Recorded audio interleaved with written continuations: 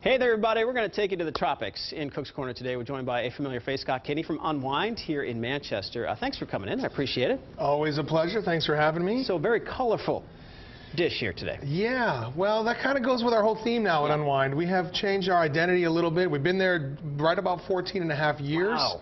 Okay. And um, a couple months ago, we recently remodeled after opening up a small breakfast lunch place in Goffstown. Yep. We remodeled and have that location now at the Unwine'd location. Merged the names to Unwine'd Key West Cafe, so there you get all the tropical Okay. colors and everything.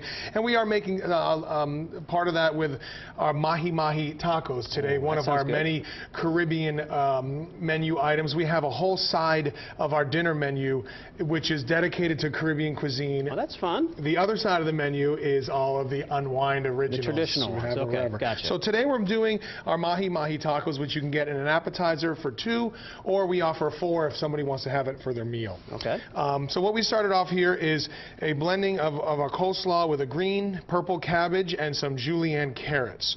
We start with that, and then I have here my tropical fruit salsa, which you take fresh papaya, mangoes, and pineapple, mix it together with some key lime juice and a little cilantro. Which, By the way, smells very good. Yeah, and again, it's all about the colors. You, Yeah, you hit it it's nice. perfect. So we'll have all this together, um, and then with that, we're going to finish off with our key lime cilantro mayonnaise, which helps combine everything together. Okay. So we're not going to mix that up yet. What I'm going to first do is take my mahi mahi, that we you thin slice. Okay, we're going to gently drizzle it with some oil and a little bit about what we call our essence of unwine'd. It's a little seasoning blend we make in the restaurant. Salt, proprietary pepper, blend over a little there, okay. garlic, a little herbs, a little seasoning. So we go ahead and put that in the oven. All right. Um, I can feel the sand between my toes right there now. you go. Okay. You do not have to cook that for long. You do not want to overcook the mahi, it's a, especially if you're using a fresh product. Just cook it enough just to cook the outside, so a few minutes.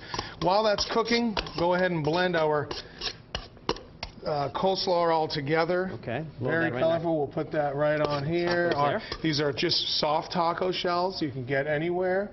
The flour, you want to use the flour, not the corn. The corn we find sometimes will break apart you. Flour's a little more flexible. So there's no your doubt, yeah. slaw. Okay. Uh, meanwhile, a minute or two later, with the magic of TV. oh, I love the magical oven. Okay. Yes, we have a finished product here. Your mahi mahi, nicely cooked. Still, still. Well, you know, I've got gloves on. We'll go ahead and just grab it. Who is hot. so we'll put that on there, and then we garnish with our uh, delicious, flavorful roasted red pepper. Look at all the different flavors going on in there. That's great. Yeah, it's, Okay. it's a very flavorful dish. You got some key limes to garnish. Um, so that's your mahi tacos. We've also made here one of our breakfast items, uh, fresh fruit crepe. We make um, all of our crepes are done to order. We have a list of sweet, savory crepes for breakfast. This is a quinoa burrito bowl we have on our lunch menu. You can do it with chicken. It's a southwestern style with a tropical flair. We have a little bit of the salsa, um, fruit salsa, avocado on. So you know, a whole list of nice breakfast, lunch items. And uh, All three meals going on over there. And again, for folks who've never been there in the 14 and a half years, where are you guys located? Uh, we're located on Second Street.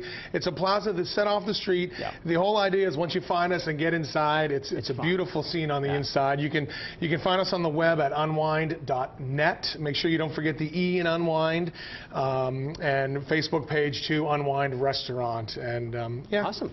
Loving every minute of it yeah. still. Oh, All right, still going out there. Great. You took us to the beach. I appreciate it. Needed to, cool, needed to warm up a little bit. Scot Kinney from Unwine'd, thank you very much. That does it for us. Thank you.